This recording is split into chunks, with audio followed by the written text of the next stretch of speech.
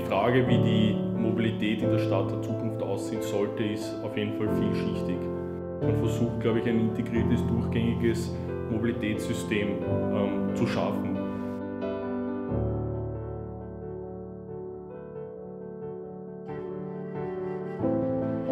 Mir persönlich ist es wichtig, dass die Stadt der Zukunft nachhaltig ist, dass sie leistbar ist und sie muss natürlich auch lebenswert sein. Es soll dort saubere Energie zur Verfügung gestellt werden, die energieeffizient produziert wird.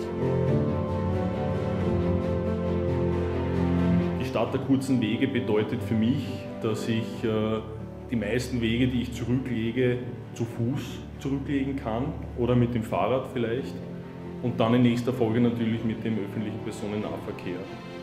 Und äh, auf mein Auto möchte ich überhaupt verzichten können. In der Stadt der Zukunft, da möchte ich, dass sich meine Familie wohlfühlt und dass ich mit gutem Gewissen das Licht aufdrehen kann. Wie stellen wir es am besten an, dass auch unsere historischen Gebäude energieeffizient sind?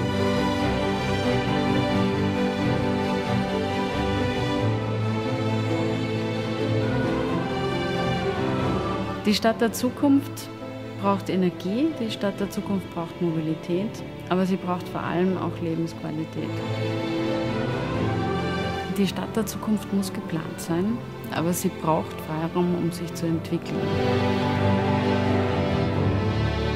Die Stadt der Zukunft muss energieaktiv und energieeffizient werden. Und das Zweite, wir müssen auch erreichen, dass die Energie dort verbraucht wird, wo sie entsteht, weil wir dann Infrastrukturen sparen.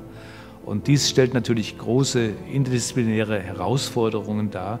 Wir müssen Gebäude, Mobilität, Energie, Infrastrukturen miteinander verbinden und daraus die Stadt der Zukunft entwerfen und umsetzen. Und deshalb gibt es Urban. Zehn Doktorandinnen und Doktoranden entwickeln bis 2016 zehn strategische Themen, die die Stadt der Zukunft bewegen. So vernetzt, wie auch später diese Themenfelder zusammenarbeiten müssen. Aus zehn verschiedenen Perspektiven eine gemeinsame schaffen. Integriertes Forschen Gemeinsam mit Expertinnen und Experten der Technischen Universität Wien und der Wiener Stadtwerke. Integriert, vernetzt, Urbem.